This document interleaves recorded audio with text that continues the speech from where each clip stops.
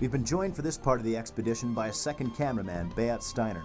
Unlike shooting a feature film, our stuntmen only get one chance. There's no such thing as a take two, and having two cameras aimed at the action increases our chance of bringing home the money shot.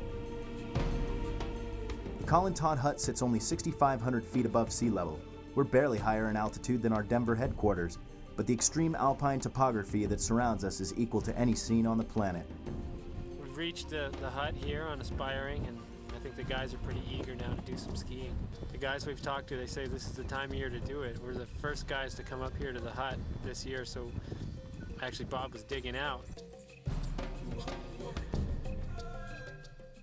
Charlie flew us in, and weather looks good. He wasn't sure uh, early in the day there with all the cloud activity, but it's burned off nice.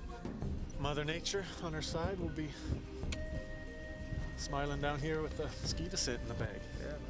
New Zealand mountain guide Josh Green has also joined our crew. A climber experienced in this range, we have to assume that the great load of food he's brought along is indicative of just how long a storm in the southern Alps can hang around. We hope the approaching storm will blow by, leaving the skies clear and the slopes peaceful tomorrow. But we're provisioned and prepared for the worst. Storms in the southern Alps can stay for days on end. We're lucky to have an ample supply of food and fuel, and the relative comfort of a mountain hut to shield us from whatever storm rolls in from the Tasman Sea.